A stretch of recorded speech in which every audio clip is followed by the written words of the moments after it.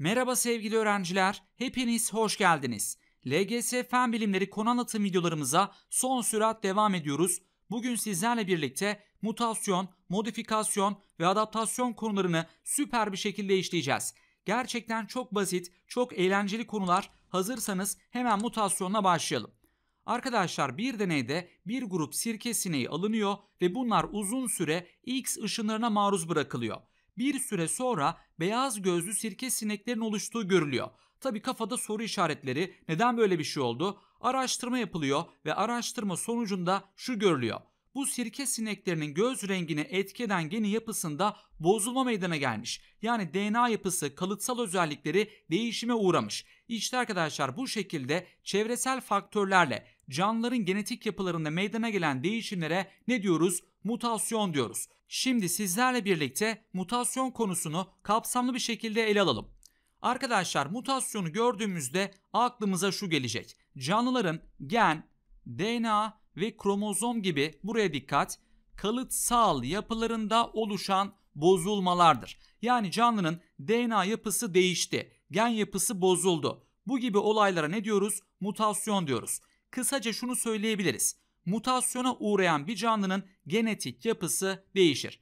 Peki mutasyona yol açan faktörler neler? Bir kere en başta X ışınları geliyor. Aynı zamanda kimyasal maddeler, sigara, aşırı sıcaklık ve ilaçlar da yine mutasyona neden olabiliyor. Arkadaşlar çok çok önemli karşınıza sık sık çıkacak bir soruya geldik. Bakın buraya bir tane yıldız atıyorum. Tüm mutasyonlar kalıtsal olarak kuşaktan kuşağa aktarılır mı? Yani bir tane canlı mutasyona uğradı. Acaba bu özellik kesinlikle yavrulara aktarılıyor mu? Bunu konuşacağız. Şimdi burada iki tane ihtimal söz konusu. Birinci ihtimal mutasyon üreme hücrelerinde oluşmuş olabilir. İkinci ihtimalde mutasyon canlının vücut hücrelerinde oluşmuş olabilir. Eğer mutasyon üreme hücrelerinde oluştuysa ne diyoruz? Kalıtsal olarak kuşaktan kuşağa aktarılır diyoruz. Eğer mutasyon vücut hücrelerinde oluştuysa bu özellikler arkadaşlar kuşaktan kuşağa kalıtsal olarak ne olmayacaktır? Aktarılmayacaktır. Bakın tekrarlıyorum. Diyelim ki canlının üreme hücreleri etkilendi. Yani mutasyon bu canlının üreme hücrelerinde oluştu. Mecburen bu özellikler yavrulara aktarılacak. Yani mutasyon yavruda görülecek. Ama arkadaşlar mutasyon diyelim ki canlının vücut hücrelerini etkiledi. Yani diyelim ki deri hücresini veya iç organlarını etkiledi. Üreme hücresi etkilenmediği için bu durumda arkadaşlar mutasyon kuşaktan kuşağa aktarılmayacak. Yani yavrularda bu özellik görülmeyecek. Gayet basit. Hemen geçiyorum örneklere. Bir kere insanlarda görülen birçok hastalığın temelinde mutasyonlar vardır. Mesela Down sendromu hastalığı. Hepiniz biliyorsunuz. Albino, altı parmaklılık, hemofili, renk körlüğü bir sürü örnek sıralayabiliriz. Gördüğünüz gibi arkadaşlar mutasyonların sonuçları genellikle zararlıdır. Bazı mutasyonların sonuçları da yararlı olarak kabul edilir. Örnek vermek gerekirse Van kedisinin göz renklerinin farklı olması. Bu bir yararlı mutasyondur. Çünkü bu mutasyon sonucunda canlı çeşitliliği artmıştır. Kaptık mı? Veya meyvelerin daha büyük olması da yine yararlı mutasyonlara örnek olarak verilebilir. Fakat şunu unutmayacağız. Mutasyonlar sonuçları itibariyle genellikle zararlıdır. Bunu aklımızdan çıkarmayacağız. Evet mutasyon bu kadar. Geçiyoruz modifikasyona. Bu da yine çok kolay. Sadece odaklanmanızı istiyorum. Arkadaşlar modifikasyon sözcüğünün köküne baktığımızda karşımıza modifiye sözcüğü çıkıyor. Modifiye sözcüğünü birçoğunuz duymuştur. Mesela arabaları modifiye ediyorlar. Ne yapıyorlar? Boyasını değiştiriyorlar veya camlarına film çekiyorlar, jantlarını yeniliyorlar. Yani kısaca dış yapısında bir takım makyajlar yapıyorlar. İşte arkadaşlar modifikasyonlar da böyle. Çevresel faktörlerin etkisiyle canlının dış yapısında bazı değişimler meydana geliyor. İşte bu değişimlere, bu değişikliklere ne diyoruz? Modifikasyon diyoruz. Canlının genetik özellikleri değişmiyor, sadece dış yapısı değişiyor. Mesela uzun süre güneşte kalırsak ne oluyor? Tenimiz bronzlaşıyor. Sadece dış yapımız değişti. Yani genetik özelliklerimiz değişmedi. Bir süre sonra ne olacak? Tenimiz eski rengine dönmüş olacak. İşte bu olay nedir? Modifikasyondur. Yine sporculara baktığımızda sıkı çalıştıkları için kaslı olduklarını görürüz. Bu da yine bir modifikasyon örneğidir. Yani sporcular arkadaşlar antrenman yaptıklarında genetik özellikleri değişmez. Sadece dış yapılarında yani kaslarında bir değişim söz konusu olur. Dolayısıyla bu da ne olacaktır? Tabii ki modifikasyon olacaktır. Peki modifikasyona yol açan faktörler nelerdir? Bir sürü faktör sıralayabiliriz. Bunlardan bazıları beslenme, sıcaklık, ışık ve nemdir. Arkadaşlar bir tane bitki düşünelim. Bu bitki ışığı ne kadar çok kullanıyorsa veya bulunduğu topraktaki nem miktarı ne kadar fazlaysa o kadar çabuk büyüyecektir değil mi? Bakın ne görüyorsunuz? Çevresel faktörler canlının gen yapısını değiştirmeden dış yapısını değiştirebiliyor. Yani görünümünü, fenotipini etkileyebiliyor. Bu gibi olaylara ne diyormuşuz? Modifikasyon diyormuşuz. Şimdi yine çok çok önemli, çok çok değerli bir soruya geldik. Buraya odaklanıyorsunuz. Modifikasyonlar acaba kalıtsal olarak kuşaktan kuşağa aktarılır mı? Yani yavrularda kesinlikle ortaya çıkar mı? Cevabı gayet basit. Tabii ki ne diyeceğiz? Hayır diyeceğiz. Çünkü arkadaşlar modifikasyon sonucunda canlının sadece gen işleyişi değişir. Fakat gen yapısı yani genetik özellikleri asla ve asla değişmez. Canlının gen yapısı değişmediği için de modifikasyonlar kuşaktan kuşağa aktarılmaz yani yavrularda ortaya çıkmaz. Bir sporcu düşünün gayet kaslı çocuğu dünyaya geldiğinde kaslı olarak doğmuyor değil mi arkadaşlar? Bakın ne oldu? Modifikasyonlar kuşaktan kuşağa aktarılmadı. Veya bir çift düşünün bunların teni bronzlaşmış. Çocukları da bronz tenli olarak mı dünyaya gelecek? E tabii ki hayır diyeceğiz. O zaman toparlayalım. Modifikasyonlarda canlının genetik özellikleri değişmiyor. Canlının genişleyişi değişiyor. Bu özellikler kuşaktan kuşağa aktarılmıyor. Bu kadar basit. Yine karşınıza çok sık çıkacak örneklerden biri bilmenizde fayda var. Arkadaşlar arı larvaları polenle beslendiğinde işçi arı, arı sütüyle beslendiğinde kraliçe arı oluyor. Bu da yine beslenmeye bağlı olarak ortaya çıkan modifikasyonlardan biridir. Bu da aklınızda bulunursa çok güzel olur. Evet şimdi sizlerle birlikte bir etkinlik üzerinde bu iki konu başlığını güzelce bir toparlayalım. En sık göreceğimiz örnekleri tek tek konuşalım.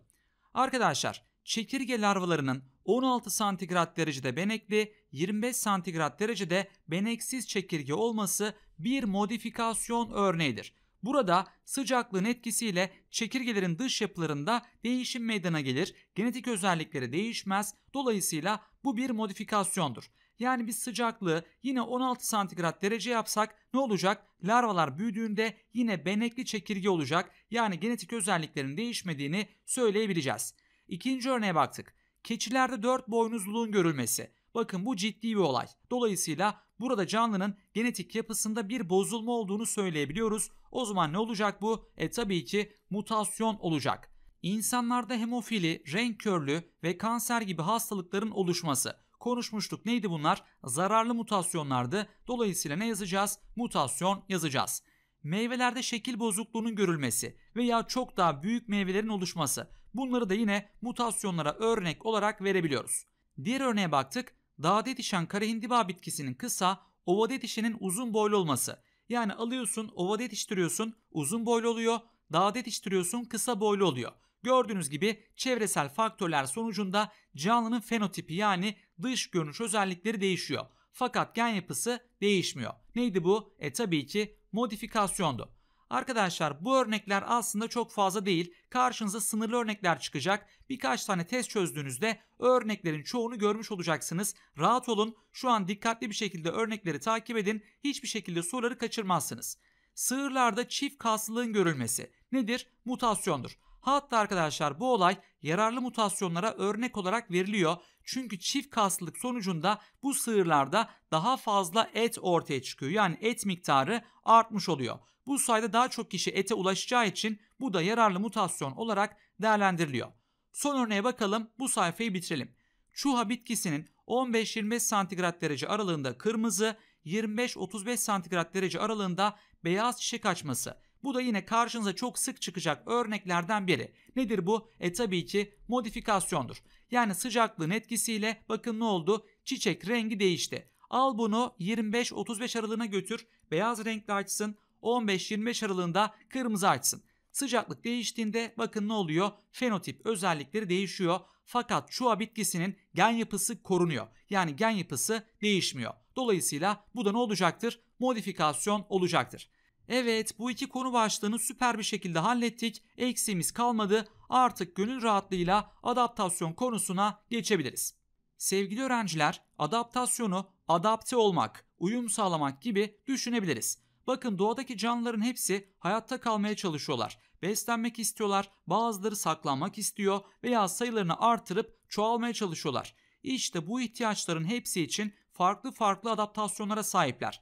Kısaca adaptasyonlar sayesinde canlıların yaşama şansı artıyor diyebiliriz. O zaman adaptasyonu gelin beraberce tanımlayalım. Adaptasyon nedir? Canlıların doğada hayatta kalma ve üreme şansını artıran özellikler ve davranışlardır. Yani adaptasyonlar sayesinde canlılar yaşadıkları çevreye uyum sağlarlar ve bu sayede hayatta kalma şanslarını artırmış olurlar. Peki adaptasyonlar kalıtsal olarak kuşaktan kuşağa aktarılır mı? Burası önemli. Evet adaptasyonlar arkadaşlar kuşaktan kuşağa kalıtsal olarak aktarılır. Hemen bir örnek verelim. Mesela bu kalemun renk değiştirme özelliğine sahip değil mi? Renk değiştirdiğinde onu görmek oldukça zor oluyor, iyi bir şekilde kamufle oluyor.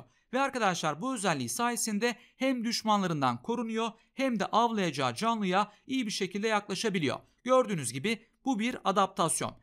İşte arkadaşlar bu adaptasyon özelliği kuşaktan kuşağa aktarılıyor. Yani bir bu kalemun dünyaya geldiğinde bu özelliğe sahip oluyor. Yavru bu kalemunlar da renk değiştirme özelliğini kullanabiliyorlar. Gördüğünüz gibi adaptasyonlar kuşaktan kuşağa aktarılmış oluyorlar. Örnekleri artıralım. Şöyle birinci şekle baktığımızda peygamber devesini görmekte oldukça zorlanıyoruz değil mi? Bakın renkleri sayesinde yapraklar arasında kamufle olmuş. Göremiyoruz. İşte arkadaşlar bu özelliği sayesinde hem avlanma şansı artıyor hem de düşmanlarından saklanma şansı artıyor. Gördüğünüz gibi bu özellik nedir o zaman? Adaptasyondur. Bu peygamber devesinin yavrusu da yine bu renklere sahip olarak dünyaya gelecek. Gördüğünüz gibi kuşaktan kuşağa kalıtsal olarak aktarıldı. Var mı kafaya takılan bir şey? Umarım yoktur. Alttaki örneklerle devam ediyorum. Mesela çam yapraklarının iğne şeklinde olması terlemeyi azaltıyor. Terleme azaldığı için de su kaybı azalmış oluyor. Yani canlı sahip olduğu suyu muhafaza ediyor. Bakın ne oldu? Yaşama şansı arttı. Dolayısıyla bu bir adaptasyon. Yeni çamlar da yani yavru çamlar da bu özelliğe sahip olacak mı? E tabii ki olacak. Gördüğünüz gibi kalıtsal olarak kuşaktan kuşağa aktarılmış. Arkadaşlar balıkların çok sayıda yumurta bırakması veya bitkilerin bir sürü polen üretmesi de yine adaptasyon örneğidir. Bu sayede canlılar üreme şansını artırmış olurlar. Gördüğünüz gibi adaptasyonlar canlıların doğada hayatta kalma ve üreme şansını artıran özellikleri oluyor. Evet şimdi adaptasyonla alakalı diğer notumuza devam edelim. Yine sorularda sık sık karşınıza çıkacaktır. Odaklanmanızı istiyorum. Değerli gençler, aynı ortamda yaşayan farklı tür canlıların sahip olduğu adaptasyonlar dikkat ediyorsunuz aynıdır. Bakın türler farklı. Kutup ayısı, kutup tilkisi. Fakat ortamları aynı. Ne olacak? Çevresel şartlar aynı olduğu için bu canlılarda gelişen adaptasyonlar da aynı olacak. Bunların düşmanlarından korunması gerekiyor veya avlarına yaklaşmaları gerekiyor. Ne görüyorsun? Kürkleri beyaz. Bu sayede karda kamufle olabiliyorlar. Soğuktan korunmaları gerekiyor. Yağ tabakaları kalın. Aynı zamanda sık tüyleri var. Ayrıca arkadaşlar kulakları ve burunları küçük. Kulakları ve burunları küçük olduğu için ısı kaybı en aza indiriliyor ve ısıyı muhafaza etmiş olabiliyorlar. Yani ne diyoruz? Türler farklı olsa bile yaşadıkları ortam aynıysa sahip olunan adaptasyonlar ne olacaktır? Aynı olacaktır. Fakat farklı ortamlarda yaşayan aynı tür canlıların sahip olduğu adaptasyonlar ne olur? Farklı olur. Çünkü arkadaşlar adaptasyonların gelişmesinde ne etkilidir? Çevresel faktörler etkilidir. Ortamlara bakıyoruz. Bir tanesi çölde yaşıyor, diğeri kutuplarda yaşıyor. Türlere bakıyorsun, ikisi de tilki. Yani şunu söylemeyeceksin. Hocam bunlar zaten tilki yani aynı tür. O zaman adaptasyonları da aynıdır demeyeceksin. Adaptasyonlar için ne önemliymiş? Tabii ki çevresel faktörler yani ortamlar önemliymiş. Değerli arkadaşlar çöl tilkisine bakıyoruz. Kulakları büyük, burnu büyük. Kutup tilkisine bakıyorsun. Kulakları ve burnu daha küçük. Neden? Çünkü çöl tilkisinin bulunduğu ortam oldukça sıcak. Bunun ne yapması lazım? Isıyı dağıtması lazım ki hayatta kalsın. Büyük kulakları sayesinde ısıyı çevreye dağıtabiliyor. Böylece vücut sıcaklığını dengeliyor. Kutup tilkisi ise küçük kulakları sayesinde ısıyı muhafaza ediyor, ısıyı koruyor ve arkadaşlar soğukta donmaktan kendini korumuş oluyor. Mevzu anlaşılıyor değil mi? Renklerine bakalım. Çöl tilkisi kahverengi, kutup tilkisi bakın beyaz. Çünkü ortamların renkleri farklı. Çöl tilkisinin bulunduğu yer toprak kahverengi, kum kahverengi. Dolayısıyla kürkü de bu renge benzer. Kutup tilkisinin bulunduğu ortam karlarla kaplı, kürküne bakıyorsun beyaz. Ne gördük? Adaptasyonlar ortam şartlarına göre şekillendi. Yani türler önemli değil. Farklı ortamlarda yaşayan türler aynı olsa bile adaptasyonlar nasıldır? Farklıdır. Kafaya takılan bir şey var mı? Umarım yoktur. Bu notu da hallettik. Gelsin diğer notumuz.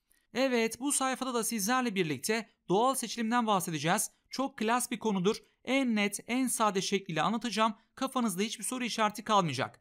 Arkadaşlar, çevreye uyum sağlayan canlılar hayatta kalır ve özelliklerini kuşaktan kuşağa aktarırlar. Fakat çevreye uyum sağlamayan canlıların sayısı zamanla azalır. Bunlar özelliklerini ne yapamazlar? Kuşaktan kuşağa aktaramazlar. Dolayısıyla bu canlılar bir süre sonra yok olur. Kısaca şunu söyleyebiliriz. Uyum sağlayanlar yaşar, uyum sağlayamayanlar zamanla azalarak yok olurlar. İşte bu olaya ne diyoruz? Doğal seçilim diyoruz. Yani doğanın yaptığı seçim. Bitti. Hemen bir örnek üzerinde çok daha rahat bir şekilde kavramanızı sağlayalım. Bir tane tarla düşünün arkadaşlar. Kurak bir tarla. Bakın burada kahverengi ve yeşil renkli çekirgeler var. Bunların türleri aynı. Ne görüyorsunuz? Kahverengi olanlar çok daha iyi bir şekilde kamufle olabiliyorlar. Yani iyi bir şekilde gizlenebiliyorlar. Dolayısıyla kargalar bu tarlada arkadaşlar hangi çekirgeleri avlayacaklar?